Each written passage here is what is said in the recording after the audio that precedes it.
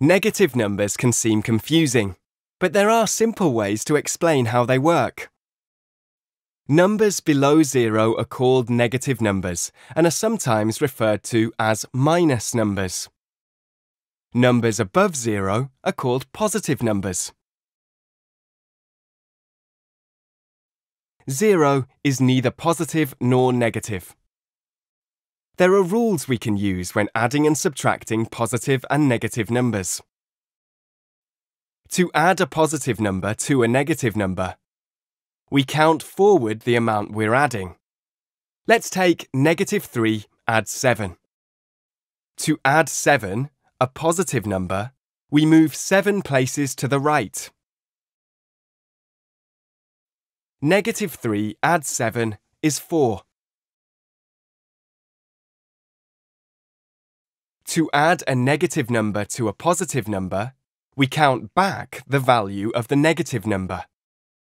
So to find out the answer to 4 add negative 6, we mark positive 4 on the number line. To add negative 6, we move 6 places in the negative direction, to the left of the number line. 4 add negative 6 is negative 2.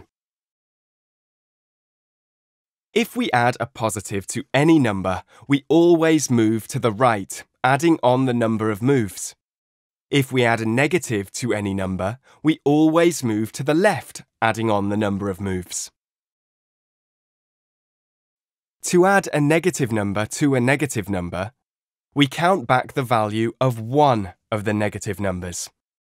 So to find out the answer to negative 4, add negative 5, we mark negative 4 on the number line. To add negative 5, we move 5 places in the negative direction, to the left of the number line.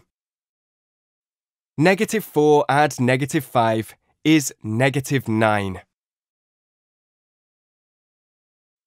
To subtract a positive number from a negative number, we count back the value of the positive number. So to find out negative 1, subtract 7, we mark negative 1 on the number line. To subtract 7, we move 7 places in the negative direction, to the left of the number line. Negative 1 subtract 7 is negative 8. When we see a minus sign followed by a negative sign, we turn the two signs into a plus sign. Instead of subtracting a negative, we add a positive. So minus negative 2 becomes add 2.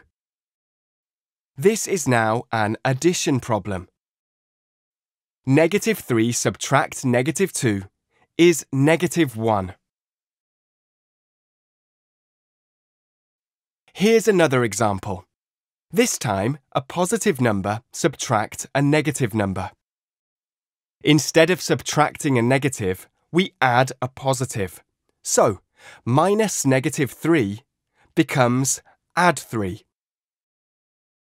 This is now an addition problem. 5 subtract negative 3 is 8.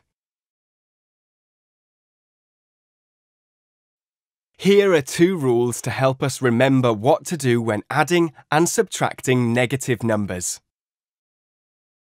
When two different signs appear next to each other, then we subtract. When two of the same signs appear next to each other, then we add.